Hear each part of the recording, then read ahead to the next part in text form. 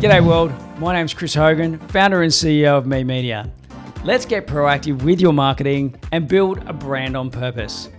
First, let's draw a nine box grid and write proactive in those boxes. P stands for purpose. R stands for research, how people are going to find you.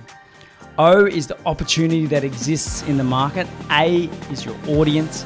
C, the content you're going to produce. T, where are you going to turn this content on? I is ignite. How are you going to ignite this campaign with an investment? V is verification and validation. How are you going to validate success? And E is evolve. How is this going to evolve? Is it going to be global, local? Is it going to win awards? Is it going to change the industry? Is it going to save lives? You name it. This is a fantastic way for you to frame your thoughts this year on these new ideas that I'm sure you're going to come up with. I'll be investigating this framework even more in our podcast this year.